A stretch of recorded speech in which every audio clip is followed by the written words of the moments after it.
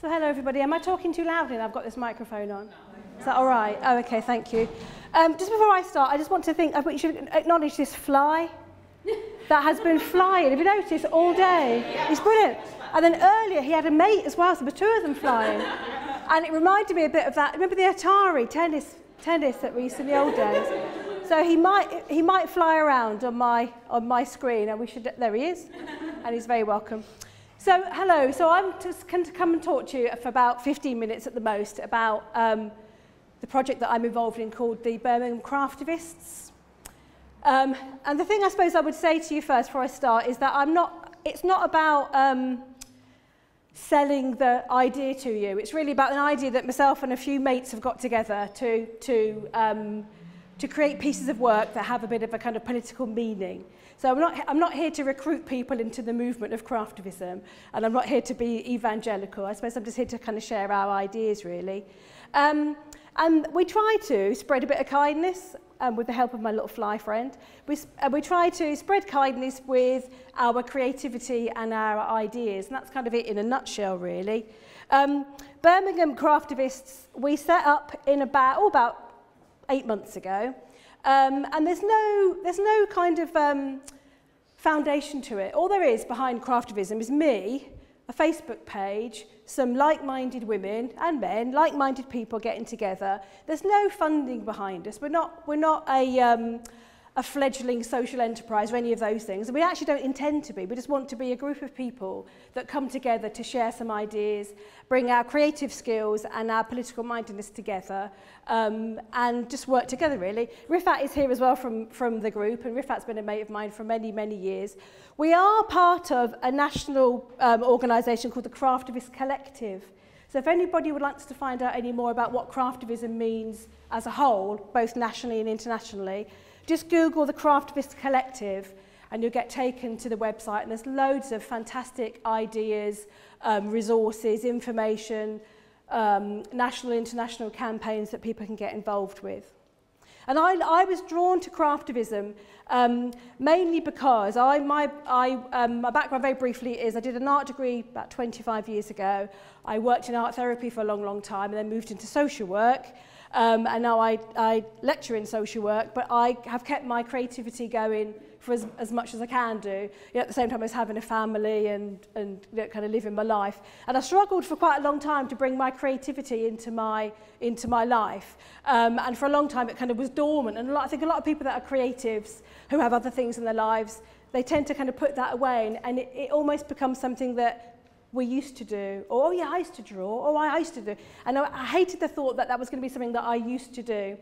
So craftivism, um, I kind of stumbled across it really, mainly through my political activism. And I found it a fantastic way of bringing my own kind of um, personal values and ethics and beliefs together with my creative skills and then bringing mates together again who've got those, uh, share those two passions as well. And craftivism, I should say, is nothing new. It's, nothing, it's just a fancy word. If you look at craft, and then imagine a hyphen with activism, all it is is the merging of those two words, craft, craft and activism. And there are craftivist groups across the world, and craftivist groups in, in Birmingham and, and in, um, in, in England and Scotland as well, and Wales. They're all over the place, really. So it's not a new concept. That idea of using art, creativity, and political activism is as old as people are. So, you know, it's not a new, it's a new, it's one of those kind of trendy, funky new words, isn't it, that people kind of create, that actually a new word wasn't actually necessary, but it sounds quite good. So there you go, that's a craftivist. Um, so my trusty suitcase comes with me, and that, that's, this is literally our resources. Our resources fit into my suitcase. So we've, as I say, we've got no money behind us other than what fit, whatever can fit in the suitcase is part of the craftivist movement. And we, um, we share materials, we donate stuff to each other, don't we? We Um, Rifat is a great uh, womble, so anything she finds that's been discarded, she brings along to the group and we make use of it. So we've got no masses of, um, of, of resources behind us. One of the things we don't do that might be slightly different to other arts projects and things that, um, that people are involved with and have talked about today is that we don't make work to sell. We're not interested, for our, for our own organisation's point of view, our project's point of view, we're not interested in making work that, that makes money. There's enough stuff out there that gets involved in the capitalist exchange and we're not interested in that. Um, we produce work that actually we don't, we try very hard to produce work that we're not wedded to, we, we don't feel that it's precious to us. And I'll explain a bit about that as I go along. So we make work that we don't sell and we don't feel we have ownership of. And that's a bit uh, Marxist for anybody that's interested in that. Um, so I think that this kind of this um, uh, quote kind of sums us up really, which uh, um, we've used a few times in some of, in some of our projects. We are a group of people that have come together through years and years of political activism and campaigning. So lots of us, and I'm sure there's people here that have been on hundreds of marches, signed hundreds of petitions, got angry about things, got animated, got angry, got off their bums and marched with everybody else. And it's made us feel good, but it's also made us feel a little bit um, impotent and a little bit helpless and hopeless on occasions. So we've all marched in London. We were there. We were there marching against um, the massacre in Palestine.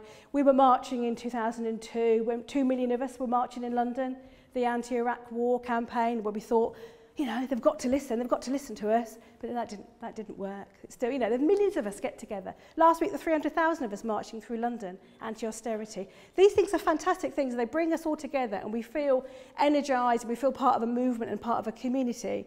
But sometimes it feels a bit too big for us. And also, if there's, if myself included, if we're too busy, or life is just too busy, or we're too knackered, in my case, too knackered to go to London and march, then there are other ways that we can we feel is other ways that we can promote and, and display or show our political activism and commitment to a cause. So from these hundreds of thousands of people, we kind of bring it down to tiny little things, tiny, tiny little banners that we, um, that we create. This is part of the Craftivist Collective campaign. So this isn't our pieces, this is from the collective. But we produce these tiny little, and they are little, little tiddly little things like we've got in our suitcase that we, we, we, we think of a campaign and we work on a campaign that's going on nationally or locally and we produce little pieces of work that take a long time to make, obviously, that involve lots of thinking and planning and talking. We produce these things and then we put them in the community and we just leave them. Sometimes people nick them. Sometimes they stay there for ages and ages. But it doesn't actually matter what happens to them because they're not precious to us. That's the whole concept of craftivism, I suppose, in a nutshell, that we're not about making things that we feel very precious about. So this, this piece is a, is a piece around London Fashion Week for last year, which, which um, kind of merged together the whole fact that a majority of people involved in the fashion production industry are on, you know, less than, less than, less than minimum wage, you know, way beyond our minimum wage.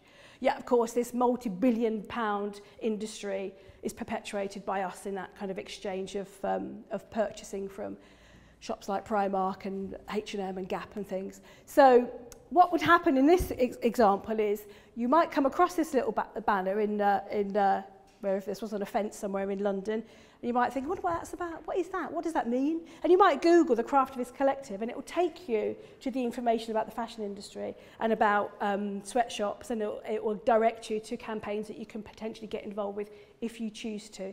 So it's a kind of mechanism for bringing people's, driving people to, to particular campaigns or ideas. Um, so, you know, we might get a bit um, fatigued by people shouting and broadcasting and proclaiming at us, these are the things we believe in and you must get involved in these things.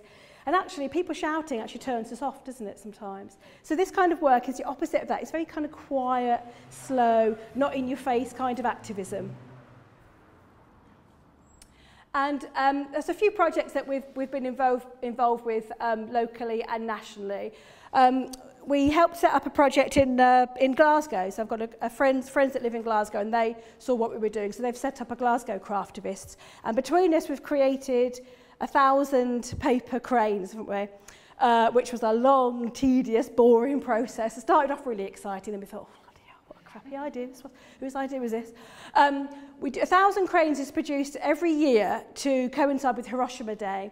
And there's a lovely story around a young girl called Sadeko who produced, who started to make cranes prior, prior to the um, Hiroshima bombing prior to that because in, Jap in Japanese uh, mythology cranes give you health wealth and happiness. So she started making these cranes. She became unwell um, and she died, and her friends continued to make the thousand. So it's a lovely kind of um, story that's kind of grown across, um, across the years. So every year for Hiroshima Day, 6th of August, people across the world make cranes, make a thousand cranes, and they send them off to Hiroshima. So on the, warm, the um, Hiroshima Bomb Memorial is a pile, a mountain of paper cranes every year. So our cranes will eventually fly over to Hiroshima when we can organise how to raise money for the stamps.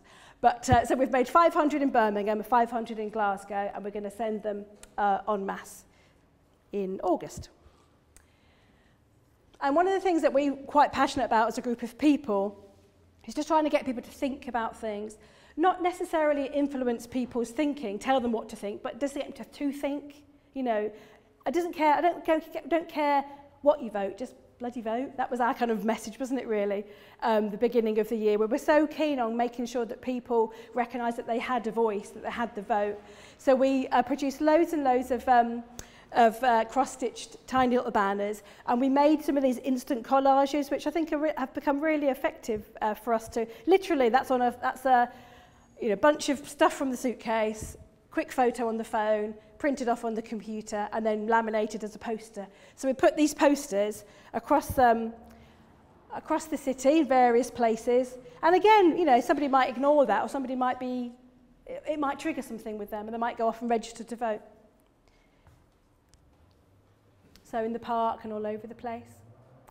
Um, and there's lots of different campaigns that you can get involved with that don't um, that don't take up too much time but also contribute to a national campaign. So at the moment, we're involved with a, with a campaign with Marks and Spencer's um, because they don't pay their, they don't pay their um, workers the, the living wage.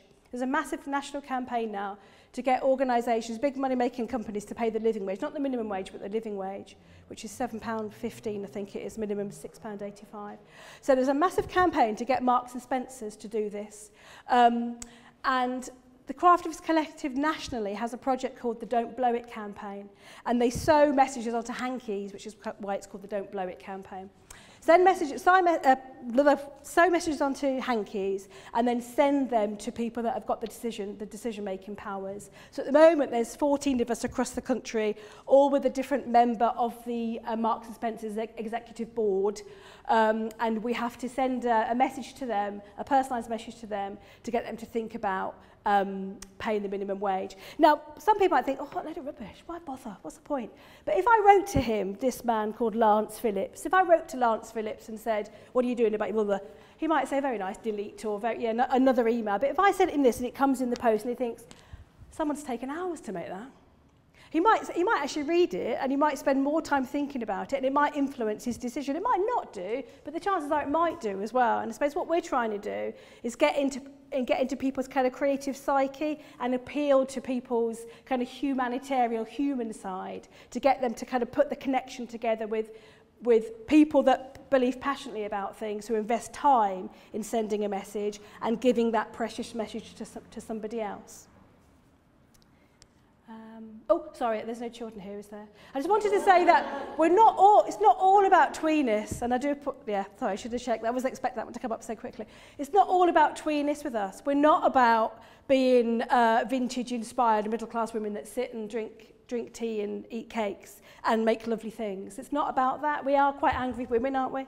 We are quite angry. We've earned our place in the world as being angry women. We've been feminists for many, many years. You know, we grew up, grew up in feminist families, many of us. So it's important to us that we are, um, that message comes across on occasions in the right environment. So our Bunting campaign is about um, We're trying to challenge the notion that everything now is all about the vintage and it's about this kind of looking back um, to the 1950s when it was all lovely and everything was lovely and women knew that, you know, women made and men did. That was the kind of the concept and the Kirsty Allsopps of the world, if we're not careful, they're going to they're going to infiltrate our world and turn us into modern housewives. We don't, we don't want to be like that. So we're trying to re reappropriate the images of the, of the 1950s and turn them into something a bit more kind of confrontational. And sorry if anybody was offended by that. I wasn't. I was supposed to put the star on, on the U and it didn't do that. Um, there's a little slideshow there of some stuff, and I'll maybe come back to that. But um, that's us, that's me. So um, I do various other things as well as the craftivism. and uh, you know, please feel free to contact me. But I would also say that craftivism, as I say, is not about me um, me giving you this amazing new skill. It's not about that at all. It's about just a couple of people getting together and making stuff that maybe has a meaning that you might send somewhere to somebody else to have a think about what you've written about or any of those things. It's not about us saying we hold this very special, precious gift that we can, you know, if you're lucky, we'll bestow upon you. It's not about that. It's about anybody just getting together and creating stuff and using your, using your skills and your knowledge. Um, and just as a little kind of background, this is a project we did at the Library of Birmingham. Every year there's a, there's a campaign, 16 Days of Activism Against Violence Against Women and Children. So we produced 16 pieces of craftivism um, during three or four uh, Sunday afternoons. And of course, when you come together, and it's a bit like meeting the crafty mothers today, it's fantastic. When you come together and you, you start talking and you start making, making and relaxing, the conversation just flows so beautifully and you end up talking about things that you didn't, you didn't actually realise you thought had an opinion about or you hadn't really um, connected with anybody else about. So when we made these pieces collectively, we talked a lot about gender inequality. We also talked a lot about our families or just other stuff as well. Um, and it is just really about coming together, using the creativity as a tool to promote and discuss ideas, but also do something. Um, oh, sorry, another pair of boobs there as well. It gets worse, doesn't it? It gets worse. okay. Maybe small nipples. Um, okay, so that's, that's the end of, of, uh, of my presentation, but feel free to have a rummage through my case if that isn't too rude. An invitation. Have a rummage through and have a look at some of the stuff if you want to. There's a couple of brilliant books that I think have kind of inspired us, um, especially this one, very cheap, it's only a fiver, uh, the little book of craftivism, which has got lots of great ideas in it that has kind of kick-started us really to get to get um, to get ourselves together. Um, but as I say, the best place to start is looking at the Craftivist Collective national website. And I'm happy to chat to people about their ideas and bring ideas together and do some joint projects if anybody's interested as well. So thank you very much. Cheers.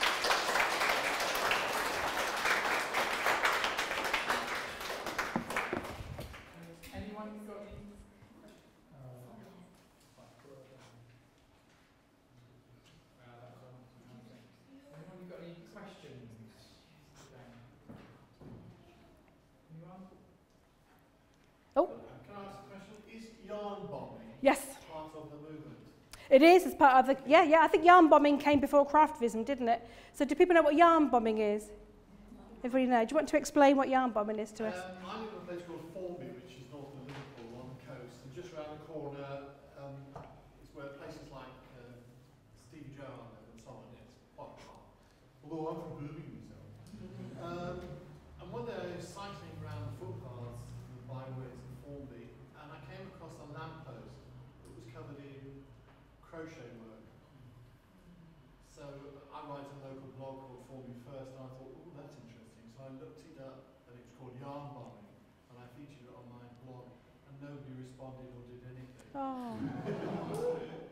but I know that in Crosby, which is closer to Liverpool, where they're more active, there was a lot of yarn bombing, which did cause quite a storm. So I just found myself thinking now, for the first time, ah. it's connected. You made the connection. Yeah, exactly. So yarn bombing and guerrilla knitting and all those sorts of things that are, um, again, new words for things that people have been doing for donkey's years, using creativity to bring things together.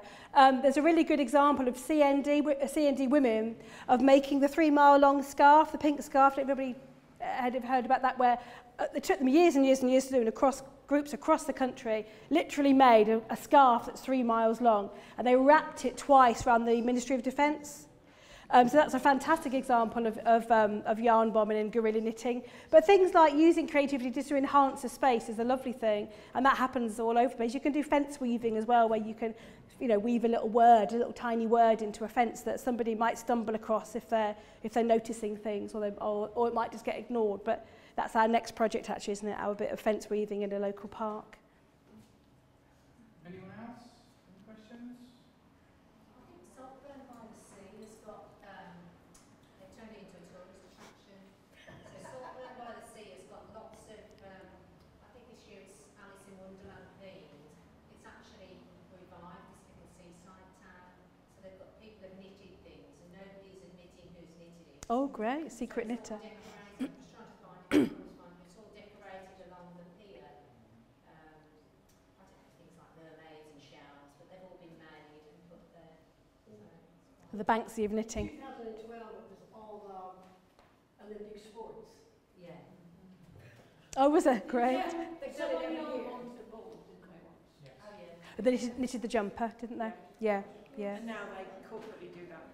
They do. Yeah, uh, exactly, exactly, yeah. Okay? Any other, any other questions, comments, reflections? How, how big is your group? And, and would you say there was a maximum number? Oh, that's a good question. So how big is it? Okay, yeah. Well, um, we there's probably about 15 of us, isn't there, that get together on a monthly basis. Then we do different kind of themes, different kind of projects or different um, campaigns. But then aside from that, um, I know other groups of people that are just two or three people that get together and do stuff. Or but you can do it, you know, on your own as well, can't you? But I would probably say that a good number of people, maybe about four or five, because we've kind of grown to really um, trust each other and, and spend time with each other as a group of friends now, haven't we really? And we are a bit, we were just saying this earlier, we're a little bit kind of precious about it now. We don't want anybody else coming in, which is terrible. but, you know, the whole kind of anti, uh, anti-feeling of craftivism. But when you get to spend time with each other and make stuff together, you, you know, you want it, you, keep, you need to keep it small and precious, because if you don't, then it becomes a different thing entirely. That's why we haven't got any money behind. But I don't want to be a funded project, and I don't want to. You know, aspire to give up my job because I quite like my job. So it's about keep for us. It's about keeping it small, keeping it precious. Because actually, in the world of um, sound like an old front now, but in the world of kind of social media where you know everything is instant and takes a split second to make and create and stick up. We're the opposite of that. We're kind of we're a bit like Luddites. We're kind of you know slow, trying to slow it down as much as possible.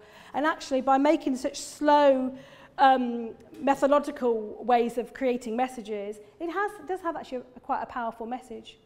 And then do you, do you still post your stuff on? Yeah, yeah, we post it. So we use it as we use a lot of the stuff as imagery for then bigger campaigns or directing people to a campaign, like for example the one about the sweatshops. So we might use that image to direct people to the like the change.org um, petition about sweatshops. We're doing something at the moment, we're trying to do something at the moment about John Lewis, because John Lewis is opening in September. And there was a massive campaign in London um, about John Lewis uh, because it has an outsource. Sorry, I'm using up my minutes now, but it uses outsourced cleaners. And the outsourced cleaning company only, pays them, only paid the minimum wage in London to its cleaners. There was a massive inquiry, and the inquiry was called, I feel like a rat in a palace, because one of the cleaners said, I'm on such a low wage, when I come into work, I feel like a rat in a palace. Which breaks your heart, really. So there was a massive campaign, and then uh, for John Lewis to pay the living wage for London, which it now does has does do. And we need to know whether they're going to do that in Birmingham as well, because it's all about you know the partners in John Lewis. Everyone's equal. Everyone gets a share of the profits. If you're outsourced or you're a part-time worker or a contractor worker, you don't get that. So we want to do a campaign with Citizens UK in Birmingham about getting John Lewis to pay the living wage for its outsourcing companies or, or influence the companies to pay that because you know you can't make billions of pounds based on this notion of being a collective and everyone's equal when in fact quite clearly people aren't equal if they clean your shop. Thank you very much.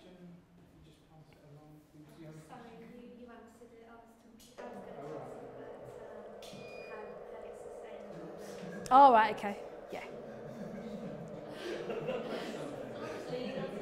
I have one quick question.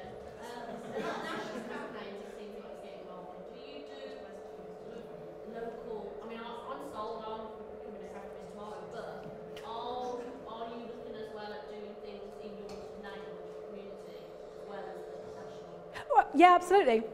And in fact, we, we tried to keep a really good balance between the big stuff and the little stuff. So we were talking about doing a campaign around Moseley Baths, because a lot of us use Moseley Baths. Um, what else have we done that's local? Um, stuff around the Asda. In King's Heath, there's a big thing about Asda unloading in the middle of the night.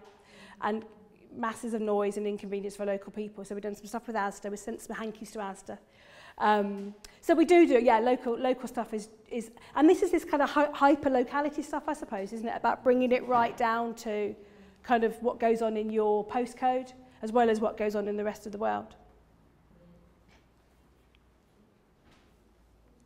Um, I don't know if you covered this already, but when th- there are so many horrible things going on in the world, like how do you decide on your campaigns and you know, how do you make the decision on what to campaign for?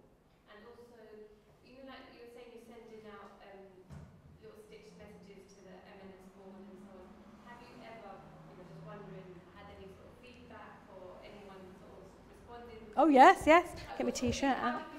Okay. Yeah, that's a brilliant question. So, so in my suitcases are little tiddly t-shirts that we made um, as part of the national campaign to get. You remember the, do you remember the, the fire in Bangladesh, Rana Plaza fire, where it was a five-story building and it collapsed and huge fire and hundreds of people died. And companies like Primark, Gap, H&M, Tesco's all had investments in those companies. So it was a massive campaign to get them to give compensation to the survivors and the, and the victims' families of the, of the uh, fire. So we all, across the, across the country, craftivists made little tiddly t-shirts and it was a mass tweeting on a particular day. Mass, mass tweeting.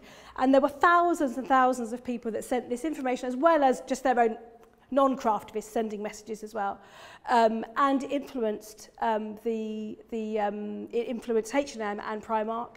So we got we got uh, tweets back from the CEO of Primark, who'd obviously prepared a, a message expecting all this mass bombardment of information. But it happened. So, so from our, you know, from our little cafe in King's Heath that we're meeting on a Thursday night when we made a couple of felt t-shirts, all the way up to the CEO of Primark, it kind of went and it came back again. So it does work. It does work. No? Well, good timing. Good Excellent. wrap up. So Thank you very much. Thank you very much. Thank you.